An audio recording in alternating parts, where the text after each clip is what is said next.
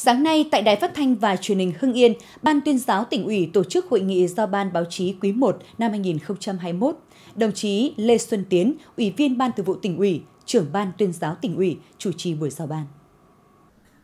Trong quý 1, các cơ quan báo chí của tỉnh và trung ương đóng trên địa bàn tuyên truyền có trọng tâm, trọng điểm, kịp thời thông tin các chủ trương đường lối của Đảng, chính sách pháp luật của nhà nước, tập trung vào diễn biến và thành công của Đại hội đại biểu toàn quốc lần thứ 13 của Đảng. Việc quán triệt, triển khai nghị quyết Đại hội Đảng bộ các cấp nhiệm kỳ 2020-2025, chuẩn bị công tác bầu cử đại biểu Quốc hội và đại biểu Hội đồng Nhân dân các cấp nhiệm kỳ 2021-2026, đảm bảo an toàn, đúng luật. Tuyên truyền mừng Đảng, mừng Xuân Tân Sửu, phòng chống dịch COVID-19, thực hiện mục tiêu kép và tình hình phát triển kinh tế xã hội của tỉnh những tháng đầu năm.